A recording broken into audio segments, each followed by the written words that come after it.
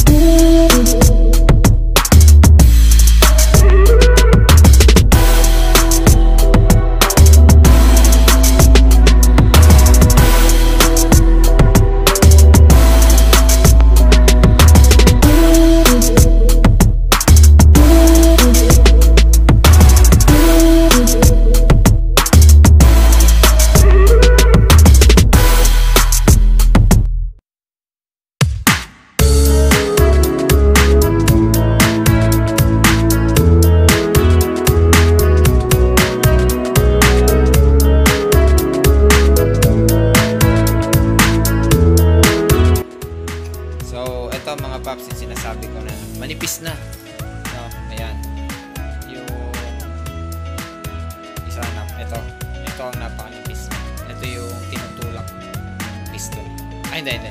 Ito yung nasa labas. Ayan, manipis na. Pero hindi ako magpapalit muna sa ngayon. Ibabalik ko to dahil papakita ko lamang kung paano talaga siya i-disassemble and i-assemble.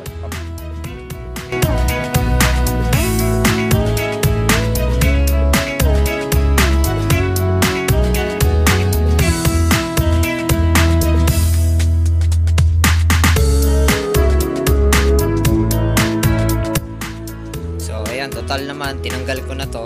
Lilinisin ko na lang din. Ayan. Ayan. Ito yung kanyang lock pin. Actually, hindi siya lock eh. Parang pampahigpit lang para hindi malaglag. No.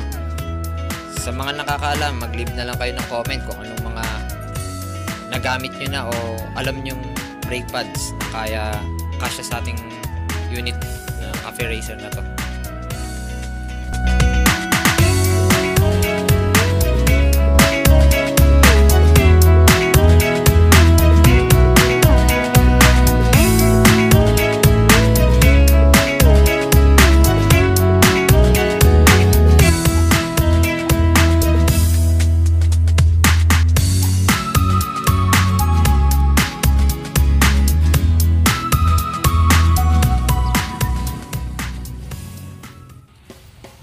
Siyempre, kung may disassemble tayo, may assemble din tayo. Ayan. Balik natin to. Kung yung piston nyo umaangat, tulak nyo lang. Ayan. Halimbawa, napiga nyo, no? Ayan, umaangat. Ayan.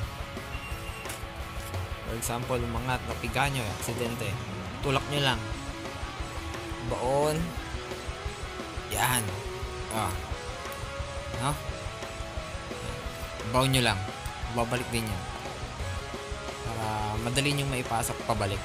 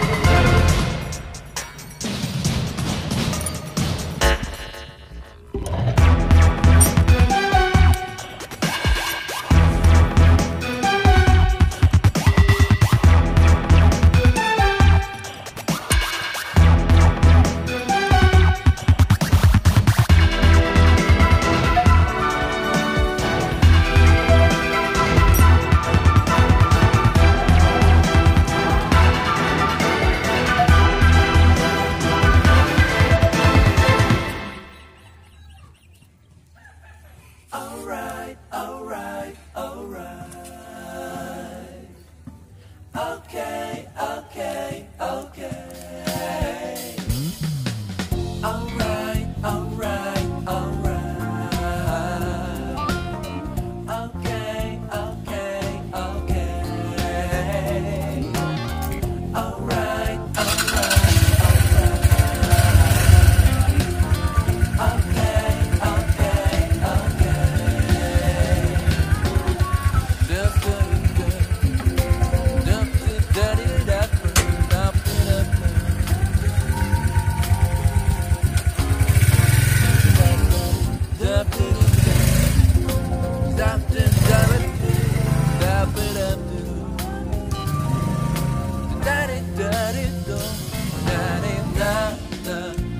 another